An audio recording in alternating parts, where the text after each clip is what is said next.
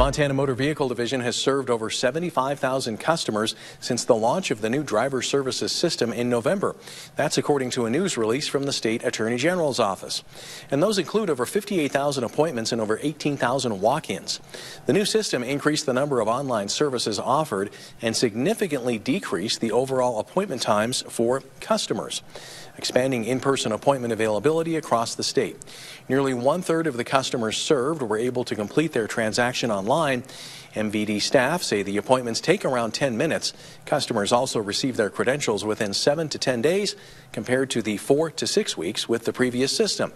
The new credentialing and registration system is part of a multi-phase, multi-year effort to improve customer service and efficiency for Montanans at MVD exam stations across the state. Radley Elementary School in East Helena has had two teachers win the Northwest Council for Computer Education Outstanding Technology Educator of the Year for two years in a row. MTN's Ali Kaiser sat down with this year's winner to see what the achievement means to her. Good teachers make a major difference in our communities, and they often do not get recognized for their impact. But one East Helena teacher was awarded for her work at the largest educational technology conference in the Northwest region.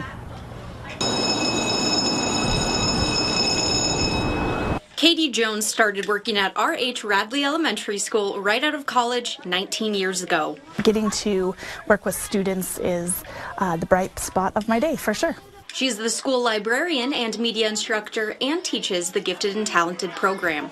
I uh, was born into education. Both of my parents were educators. The 53rd Northwest Council for Computer Education Conference was held the week of February 12th in Seattle, Washington.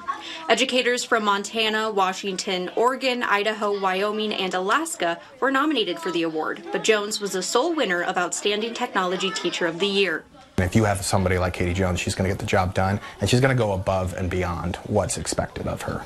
Jones was nominated for the award by her fellow teachers. This award is a reflection of all of my experiences along the way and the people I've interacted with, um, whether it be family or friends, uh, former teachers that I had, colleagues or students themselves. Each of those interactions have really shaped who I am as an educator. The goal of the award is to recognize excellence, focus professional attention on quality technology education, increase public awareness of the importance of quality technology education, and model quality use of a variety of technologies.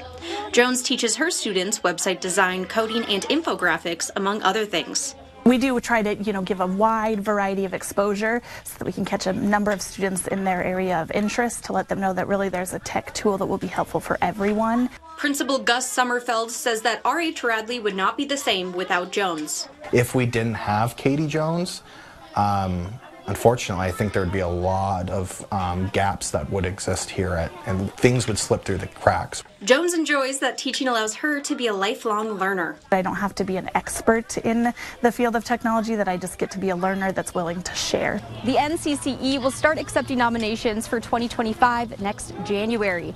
In Helena, Ali Kaiser, MTN News.